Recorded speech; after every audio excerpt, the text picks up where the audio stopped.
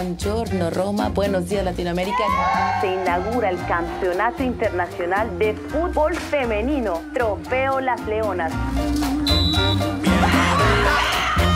Per me il calcio come la droga, hai visto quelle persone che drogate, poverine, non riescono a fare la droga? Per me che è così.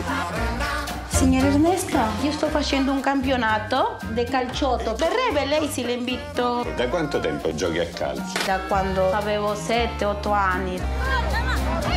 Quando io facevo un infortunio mia mamma mi diceva devi smettere di giocare calcio. Io gli rispondevo mamma io smetto di giocare calcio quando diventerò vecchia.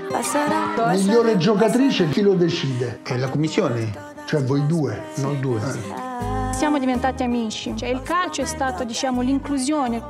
Mi hanno dato un insegnamento di accettare la vita, di non piangerti addosso.